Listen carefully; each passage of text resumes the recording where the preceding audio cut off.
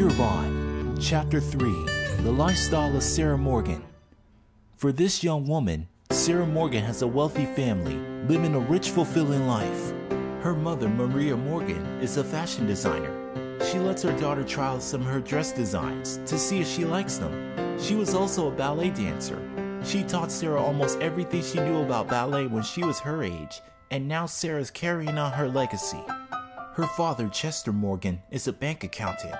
He gives his customers their monthly checks or the amount of money they need for other important reasons. Sarah's parents do everything they can to make their daughter happy, and Sarah goes to school to get her work done. She's a smart and talented student, and she has five great friends and an athletic boyfriend too, and she couldn't feel any happier right now.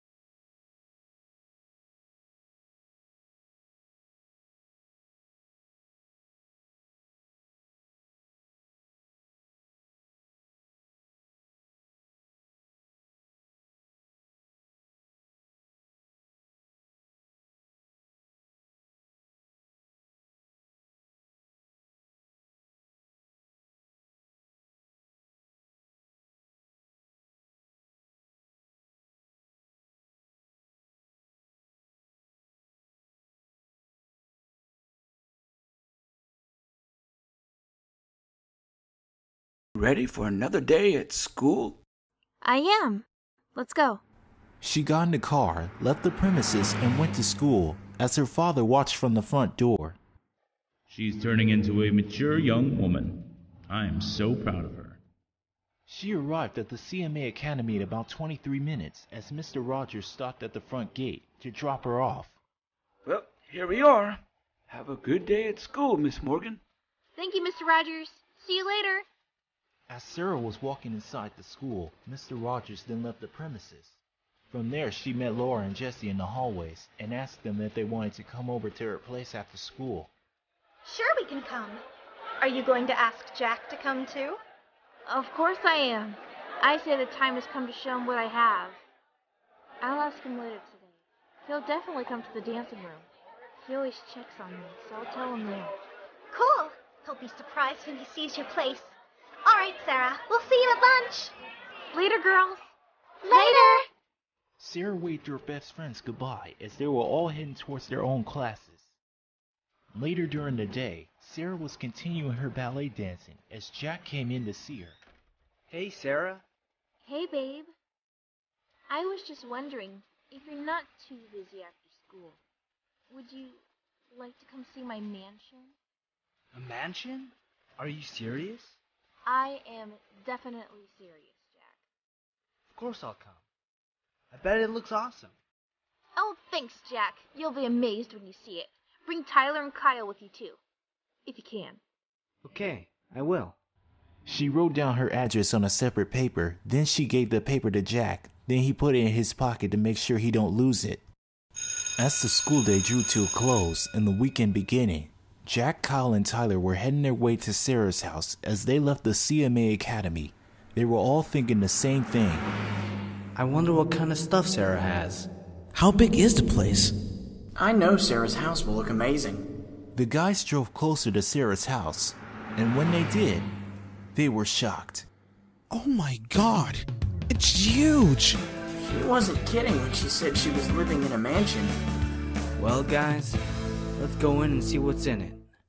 Jack parked his car in the parking lot, and the guys walked towards the main gate where they saw an intercom. Jack pushed the red button, and then a woman spoke from the intercom. Good afternoon, sir. Can I help you? Hi, I'm Jack Johnson. I'm here to see Sarah.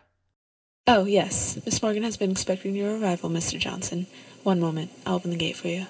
Thank you. The gate opened as Jack and the guys walked towards the mansion. They then rang the doorbell, and someone had opened the door and greeted them in. Welcome, gentlemen. Hope you all enjoy your visit. Miss Morgan will be with you momentarily. Thank you. As they all waited for Sarah to come down, Jack was looking around the main hall. Aw, man. There are just so many doors. Who knows what's in them? Moments later, Sarah made her way to the main floor where she saw Jack, Tyler, and Kyle waiting for her. Hello, gentlemen. Welcome to my home. Home? This place is humongous. You haven't seen half of what she's got here. Even we were amazed when we saw this place. How long were you two here? We drove here with Sarah, thanks to her driver. Fair enough. Well then, shall we begin the tour? All right, lead the way, Sarah. Sarah started the tour off with the main hall, where there were about 15 doors that led to different rooms. Next, she showed them the backyard, where there was a basketball court, a big swimming pool, two tennis courts, and a garden. Tyler was just thrilled to see a place like Sarah's mansion. Wow, now this is what I call a lifestyle.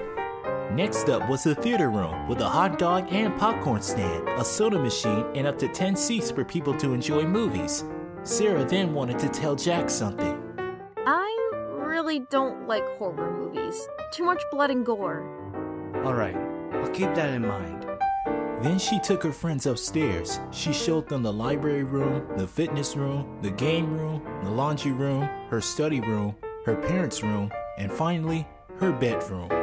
Sarah, your room is beautiful. It looks tremendous. Thank you. To end the tour off, she took her friends downstairs to the kitchen, where her chefs made them a delicious meal. Whoa, so much food! They all sat down at the table and were preparing themselves to start eating. But before they did that, Sarah wanted their replyment on the tour. So, did you all like the tour? yeah, it was incredible. Thanks for bringing us here, Sarah. You're welcome, Tyler. I want to thank you all for coming here. I hope you all like the place because you can all come over whenever you're ready. Especially you, Jack. I really want you to come and spend some quality time with me. Don't worry, I will, Sarah. I know I said this many times, but Jack, you're a lucky man. Now that that's done, let us eat. They saw it all. They were amazed and they were grateful for her hospitality. Everyone began eating the food that Sarah's chefs had offered them. My god, your chefs made some great food here, Sarah. I'll say, this spaghetti is off the charts. Thank you, everyone. I'm glad you're all enjoying the meals. That we are, Sarah. They all ate for about 25 minutes. Afterwards, Sarah's friends were full from the food that they ate and were about to leave the mansion. But before they did, Jack was walking around the mansion with Sarah. I had a good time with you today, Sarah. Thanks for inviting us over. It was great. Thanks, Jack. I'm glad you enjoyed yourself. He then held Sarah's hands. Hey, I wanted to do something for you for a change. What do you have in mind? I want to take you out on a date. It's time to take our relationship to the next level. I love that idea. Do you know where you want to go on our date?